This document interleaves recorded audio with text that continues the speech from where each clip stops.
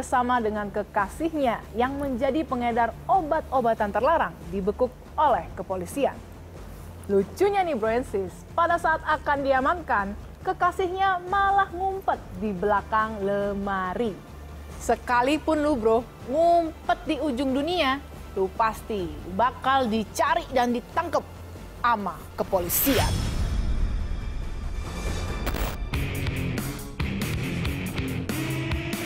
Kasus peredaran obat berbahaya tanpa izin edar dan resep dokter menjadi atensi Sat Narkoba Polres Cimahi. Salah satunya, aktivitas seorang wanita yang mengedarkan obat berbahaya bersama kekasihnya di daerah Cipendei, Bandung. Geram melihat kasus tersebut, Kasat Narkoba Polres Cimahi AKB Kusmawan langsung mengumpulkan anggota. Mohon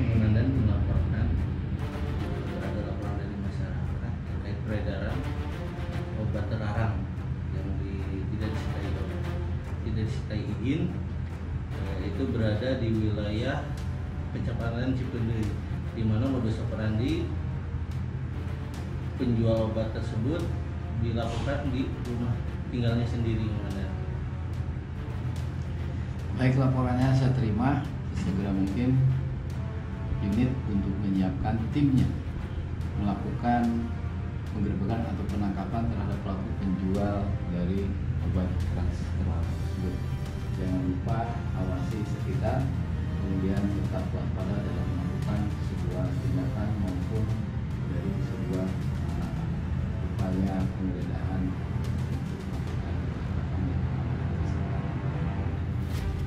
Silakan untuk dipersiapkan segala sesuatu perlengkapan baik secara administrasi maupun perlengkapan yang lainnya agar segera dilengkapi dan disiapkan jumlah personil yang harus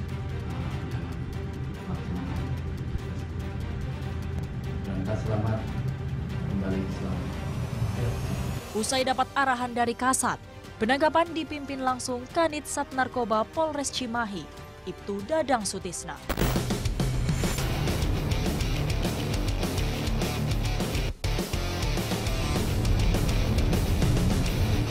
Koordinasi dengan tim pengintai terus dilakukan dalam perjalanan guna mengetahui keberadaan pelaku.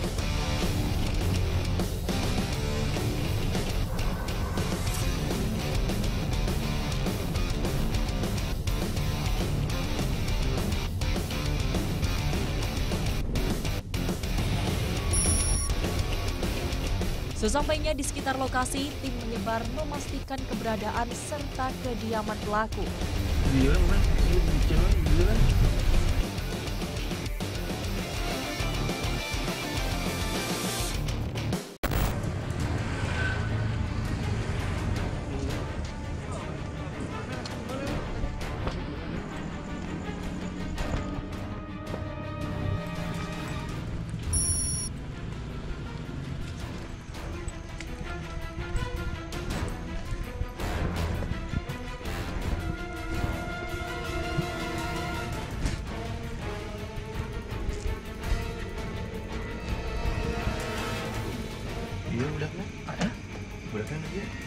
Di di mana? Di mana ini? Ke Padang. Gawe di Bang. Heeh.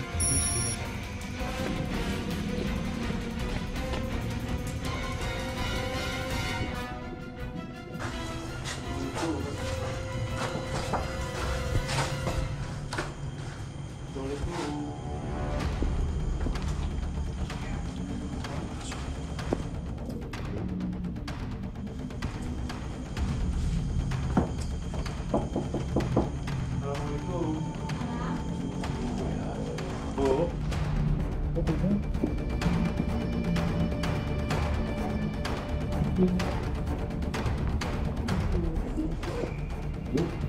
Bu, saya dari Sat Narkoba Polres Cimahi ya Bu ya. Ini surat perintah tugas kita. Sudah ditandatangani oleh Sat saya. Langsung ditipu. Makanya pada kan, ini anggota itu. Pada kan kanitnya kok. Kanit saya bu, Kanit saya. kanit narkoba. Pimpinan saya ah. Terus gimana dengan kita?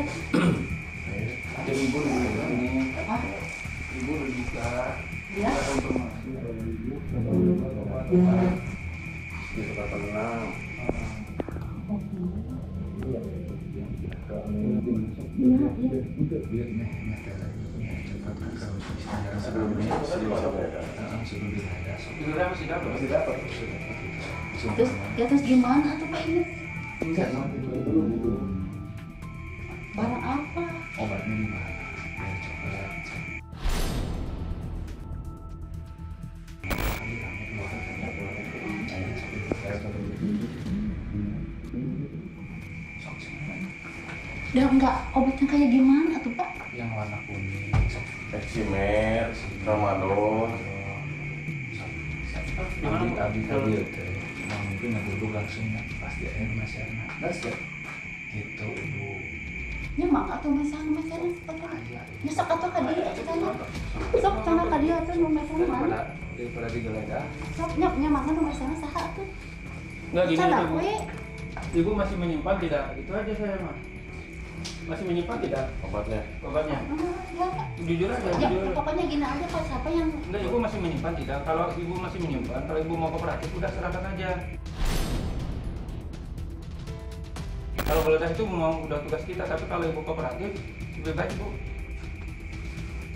Kan sering yang beli ke sini tuh bu, saya nanya mana lagi. Ibu mau nyerahnya enggak? Atau kita mau geledah?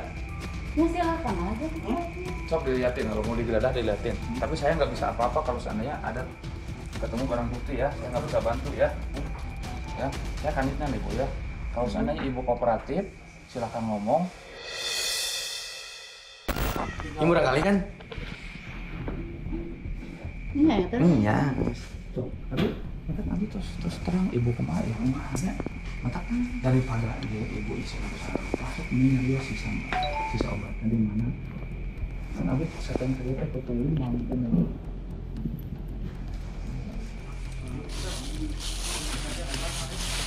Sama ini barang itu kerudung, tuh banyak kita ada kerudung. Di mana ibu? Di mana? Udah nggak apa-apa bu. Dah ini mau obat tuh bu, obat. Ini narkoba tuh bu, ini obat. Pelaku terus berkelit dan tidak mau mengaku. Petugas lalu menggeledah setiap sudut ruangan. Nggak ada apa-apa, nanti dijelasin, Neng. Bu, iya nang bu. Eh bu, saya tidak perlu ibu ngomong, nggak perlu. Nggak perlu. Udah tugas saya menggeledah bu ya. Saya, saya buktikan nanti bu ya.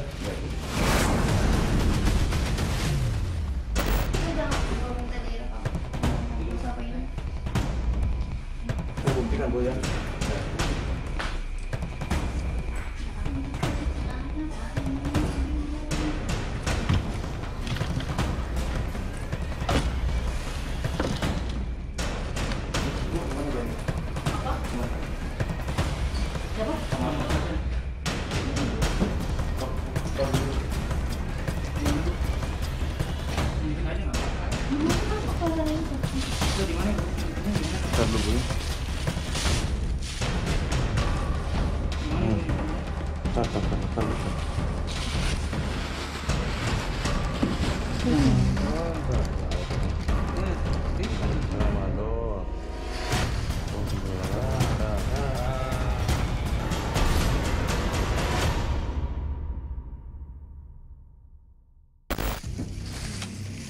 Ini apa bu? Ini obat itu. Iya udah. Ya udah diam dulu bu. Biar saya. Udah, udah, udah. Tadi ibu nggak mau nunjukin.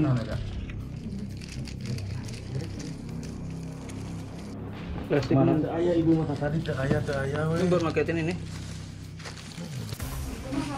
Ya udah. Ada yang punya. Cok hari ini ada berapa orang ya? Ada ada masalah ya tuh. Ini saya berong lima orang ya. Ya di mana ibu mendapatkan dia? Wah, ceceran di sini banyak nih. Hah? Ibu dapatnya dari mana bu? Hah? Udah udah. Yang itu dari apotek itu. Ada naik ya? Wah, ada itu bu. Ada nggak bu? Itu mah dari apotek. Yang mana dari apotek bu? Ini datang ke dokter. Udah berapa orang? Ayah kena ya. Udah berapa Ken. orang? Ah, udah berapa orang, orang yang ke sini beli? Ini bagian yang lain. Bu, iya ya, saya, saya jujur.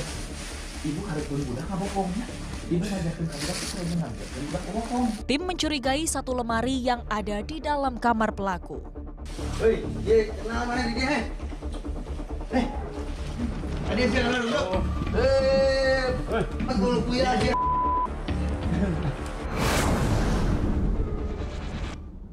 Oh iya beli ya.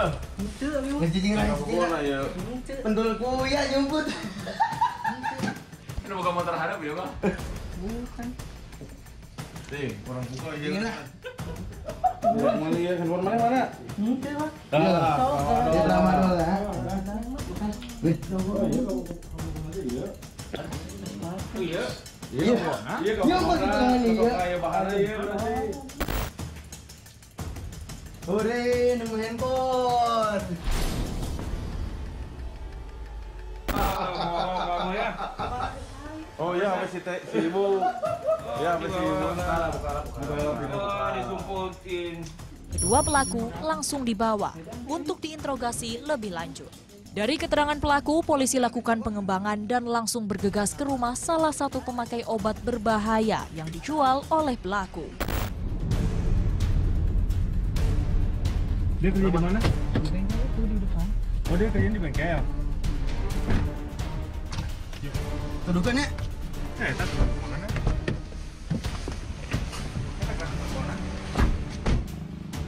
Setelah sampai, polisi dengan cepat menghampiri bengkel milik salah satu pemakai.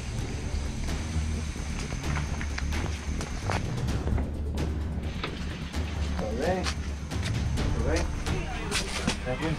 Lam dia. Itu koneksinya. Tolong sini. Teh, teh, sini, teh, sini, teh, teh, teh, sini, teh, biar, Kita jelaskan biar, dulu. Teh, paham ya. Di sebelah sini ya. Ini teh ini, saya dari polisi ya. Saya dari Sat Narkoba Polres. Ini surat perintah tugas saya. Dapat diklik ini Pak Asep. Sementara Pak Bebeng kita amankan. Terkait penyalahgunaan jenis obat keras terbatas. Yang jualnya udah kita amankan. Ayo, Pak Beng kenal dengan, dengan saudara itu nggak? Saudari siapa? Siapa namanya? Yang ibu-ibu itu siapa? Si Bu Eha, Bu Eha kenal nggak? Kenal. Kenal. Tok Meser kan? Bu Eha sudah kami amankan ya. Ini. Setelah kami interogasi ternyata Ini satu handphone Ujang ya? orang yang Iya, soal handphone Ujang. Saya dibalikan ya. Ternyata Pak Bebeng. Ya. Pengedar yang merupakan sepasang kekasih ini serta satu pemakai obat berbahaya dibawa ke Polres Cimahi untuk dimintai keterangan lebih lanjut. Bu, nah ibu, eh, kenapa ibu nggak jualan kerudung aja malah jualan obat-obat kayak gini? Ya, alasannya apa bu? Ya alasannya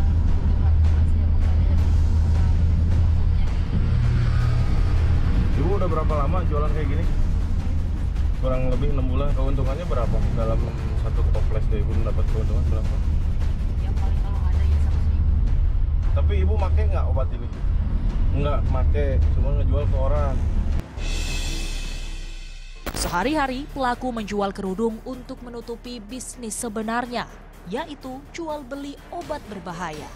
Kepada polisi, pelaku mengakui hasil penjualan dari obat-obatan berbahaya itu untuk menambah pemasukan guna mencukupi kebutuhan hidupnya sehari-hari. Berapa butir? Lima butir berapa ngejual ibu? Sepuluh ribu lima butir.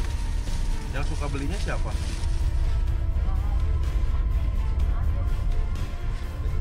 Per lima butir gini teh, sepuluh ribu ibu jual. Ada anak sekolah nggak yang belinya? Sebelumnya kami mendapatkan informasi dari salah seorang warga bahwa di wilayah tersebut ada seseorang yang melakukan penjualan dari jenis obat tersebut sehingga kami melakukan penyelidikan dan langsung penindakan oleh unit ketika orang itu sedang melakukan penjualan. Jadi mereka mendapat barang tersebut didapatkan secara pembelian online. Uh, menurut dari keterangan pengakuan yang bersangkutan itu dari mulai kurang lebih dua bulan ke belakang. Yang diamankan saat ini pelaku itu kita amankan dua orang. Perannya mereka itu sebagai penjual. Dengan cara mereka awalnya memesan dari online tersebut, kemudian mereka membuat sebuah uh, semacam uh, market dia dari orang ke orang bahwa mereka menyediakan barang tersebut. Dengan sistem penjualannya dia ketemu langsung. Barang bukti yang berhasil diamankan petugas. Obat berbahaya jenis eksimer dan tramadol, beserta bungkus klip, botol bekas isi obat, dan dua buah ponsel. Atas perbuatannya, pelaku ini dijerat Undang-Undang Kesehatan dan Cipta Kerja yaitu pasal 197 dan 106. Kemudian Undang-Undang Cipta Kerja pasal 60 dengan ancaman hukuman 5 tahun atau 10 tahun kurungan penjara. Sedangkan untuk pemakai dilakukan rehabilitasi.